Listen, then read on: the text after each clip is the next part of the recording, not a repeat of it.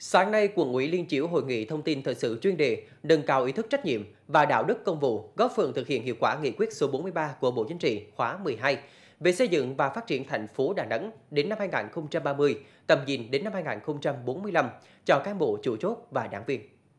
Hội nghị được nghe giảng viên chính Học viện Chính trị khu vực 3 thông tin về các nội dung cơ bản tại nghị quyết 43, nêu rõ mục tiêu quan điểm của nghị quyết, nhấn mạnh về các lĩnh vực kinh tế mũi nhọn và phát huy động lực tăng trưởng mới, hoàn thiện quy hoạch phát triển đô thị, xây dựng Đà Nẵng thành phố môi trường, thành phố thông minh, đầu tư phát triển các lĩnh vực văn hóa xã hội, thực hiện các chính sách an sinh xã hội hướng đến xây dựng thành phố đang sống, tăng cường công tác quốc phòng an ninh, xây dựng tiềm lực và thế trận khu vực phòng thủ ngày càng vững chắc.